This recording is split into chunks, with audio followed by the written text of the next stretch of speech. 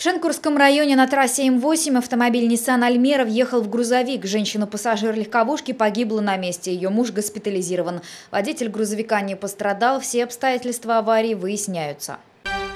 До конца этого года областное правительство запланировало открыть дополнительно 810 мест в детских садах. Всего в Архангельской области работает 603 дошкольных организаций. Их посещают более 61 тысячи детей.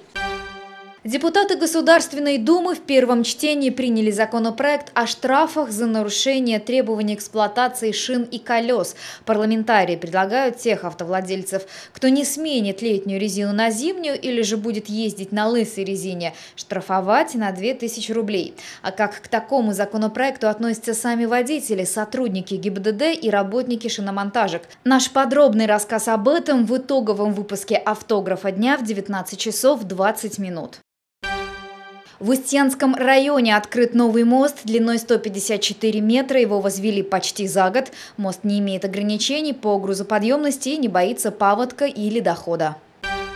Сегодня в АГКЦ в 5 часов вечера пройдет концерт «Дань памяти», посвященный 25-летию мемориала «Площадь памяти» на Вологодском кладбище. В фойе культурного центра откроется фотовыставка, на которой будут представлены кадры из личных архивов участников боевых действий. Сегодня на сцене Центра «Патриот» пройдет бенефис народной артистки России Светланы Михайловой. За 38 лет работы в театре актрисой создано более 80 образов. В 2003 году Светлана Михайлова стала лауреатом премии «Золотая маска» в номинации «Лучшая работа актера» за роль Хертруды в спектакле «Хамлет. Датский принц».